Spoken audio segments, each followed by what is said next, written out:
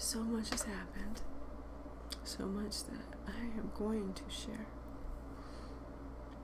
I just would rather be on the other side of it and, and no longer still dealing with the situations before I do, but it may not be my choice. It may just have to be said and have to be spoken.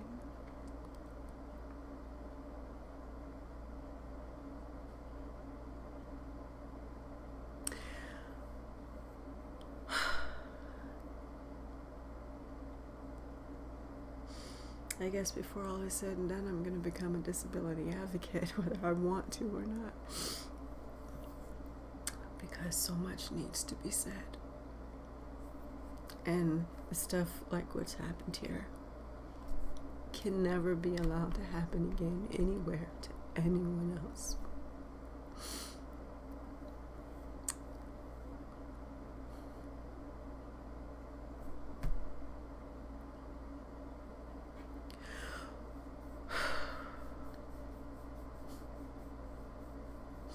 What a world.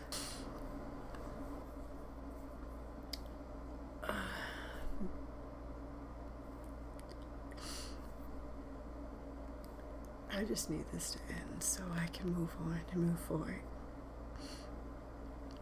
I've been held in one place for so long and stagnant and so much energy going towards something so fruitful and, and, and negative and unproductive. Tomorrow's not promised to anybody. And I would hate to look back on my life should anything happen during these surgeries and all these medical stuff that's coming up to go. The last nine years of my life when there was so much I could have done and would have done that it was wasted on just ugliness and negativity and, and just people deliberately messing with your life and, and trying to cause you unnecessary problems and just being nasty for no reason. No good reason. Completely unprovoked. Just because of their racism and their egos and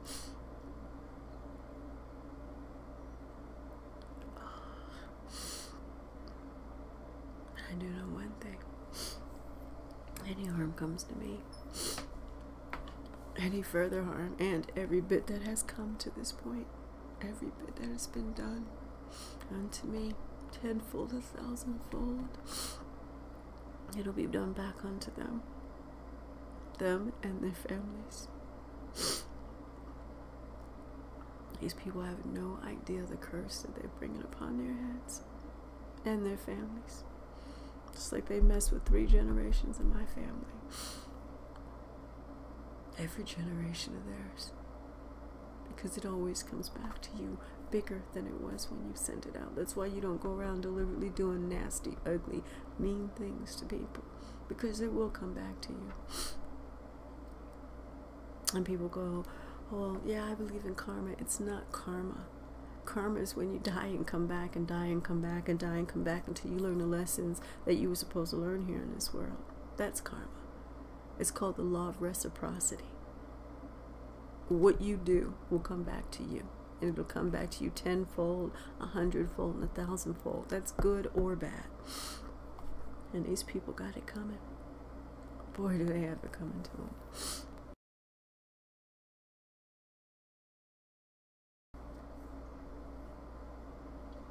And I'm ashamed to say I want to see them get it. Because I know God doesn't like that. And He doesn't like ugly. And He doesn't want us to rejoice. Even in the punishment of people who have done evil to us.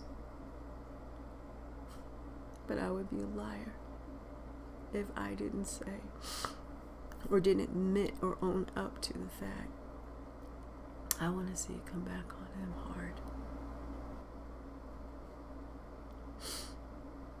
I'm that angry. My spirit is that angry.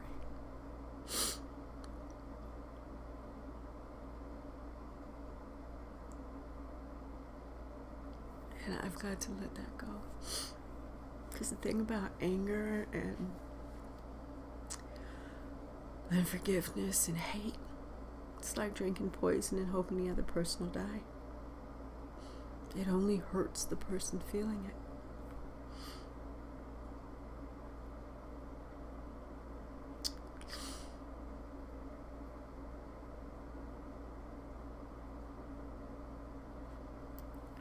And not to confuse forgiveness with allowing them to get away with it. I have to let it go on a spiritual level so I won't feel the anger in my spirit. I've got surgeries and all kinds of major stuff that I need to be as positive as possible to get through. And I can't be holding on to this anger and this negativity I'm feeling inside about what's been going on. But having said that, it doesn't mean that they're not going to be held fully accountable for every single thing that they tried to pull even trying to f- have fake charges and stuff brought against me and, and come up with kinds of lies, it would have been a felony. I've never been in trouble for anything in my life. I've never even had a parking ticket. And these people try to set me up. All because I asked them to do what they're supposed to do. We needed heat in this apartment, and there's no heat. Water's dripping from the ceiling, and there's a leak into the sink that's been there three years. A plumber still to this day has never come in here. This is a brand new building just built. But if they're not taking care of it and doing what needs to be done, mold formed all over this place. You can't leave water and, and wet stuff everywhere. The carpets, everything. And not do anything about it. And completely negligence. Complete negligence. Completely refuse to do what you're supposed to do. To take care of what is your responsibility to take care of. And the only person who's doing that mess with is me. And then I think by recruiting some other people of colors, because for the first six years I was the only one here. Once I filed discrimination charges against them, that's going to make them any less racist.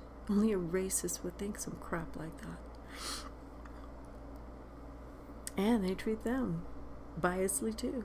So now only thing that they could actually did was help prove my point because they'll tell them of the crap that they've been dealing with with them.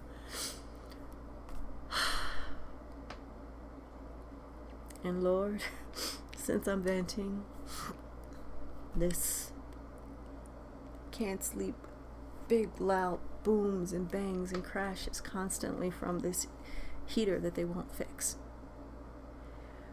all hours of the night. You're sleeping as soon as you finally do fall asleep. And that sleep is the hardest thing in the world for me because during the day when I'm hurt, no matter how severe the pain is, if I get busy doing something creative or, or, or working on something, on the animations, all the technical, that takes so much concentration and focus to do, I can pretty much block out a lot of the pain. But at night, you can't block nothing out you feel every bit of it. The nights are the worst for me because you're just laying there and you're so tired you want to sleep, but you're in excruciating pain. My arm was basically severed and had to be reattached from the car accident. All the inner parts were torn loose. So there's tremendous nerve damage in my arm, my neck, and my back. So I go through pain on levels most people couldn't even begin to imagine. And I've had to learn how to function through the pain. Because I'm going to be in pain no matter what I do. So instead of laying around hurting and crying and, and feeling horrible, I do productive things and creative things like I would do had I not had been injured. And it takes my mind away from it. It's a distraction. It, it helps me cope. Almost like a form of meditation or therapy. And not being able to sleep on top of extreme levels of pain, which wears you out. Even if you're able to block out the pain, it just takes so much energy. It drains your body. Half the capacity of what I used to be, not even half, probably about a fourth of the capacity of what I used to be able to do in a course of a day is the best I can do. And that's a good day. But I, I constantly try to stay productive and, and positive And it's hard. It is so hard sometimes. Just from the pain alone. Any one of the issues by itself would have been more than most people could bear. And then when you pile up all the different elements and aspects of what's been going on all together, it's only by God's grace I've made it this long and this far. But I have to say, I've, my body, my mind, and my spirit's been going tilt, tilt, tilt, tilt, tilt. And having fools and foolish people playing games with me and getting up in my personal space and in my face and thinking I'm all right with it, or they can get away with it because they think I'm a woman alone and because I'm injured and, and, and I am disabled, that they can get away with this mess. Lord. They just don't know. They just don't know.